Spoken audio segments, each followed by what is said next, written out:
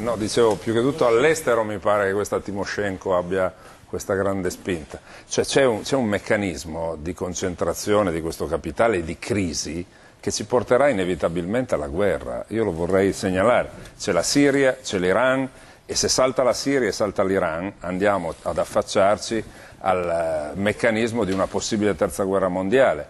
E il fatto che eh, la storia ci racconti che nelle gravi crisi del sistema capitalistico poi si è arrivati alla guerra come soluzione, prima guerra mondiale, seconda guerra mondiale, sì, ma questa politica, appunto, la politica. la politica, non conta più nulla. Eh, ho capito, ma... E, e guardi, questa, concentrazione, questa concentrazione, del capitale fa sì che, ad esempio, eh, possiamo dire la verità sul nostro Paese, dato che eh, questi signori che hanno, sono lo 0,2%, che hanno la metà delle risorse di tutto il mondo, perché la ricchezza del mondo è nelle mani dello 0,2% della popolazione, questi vanno ad investire laddove il costo del lavoro è bassissimo, quindi terzo e quarto mondo. Il nostro paese, l'Italia, che non è più in prima fila nella cosiddetta guerra fredda, perché non c'è più la guerra fredda, la frontiera si è spostata verso la Russia e la Cina, adesso la Polonia potrebbe avere il ruolo che aveva prima l'Italia, diventa di nuovo un paese provinciale e quindi è chiaro che questo assolutamente veritiero ritratto che la direttrice dell'Istat faceva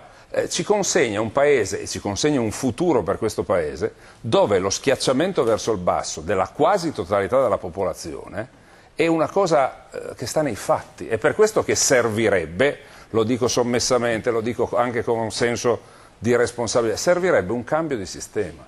Cioè i paesi dell'Europa, del sud Europa, sono schiacciati da questo capitalismo europeo e sono talmente schiacciati che dovrebbero perlomeno tentare di ribellarsi Rizzo, a, questa, a, questa, colonizzazione qui, della Francia e della Germania.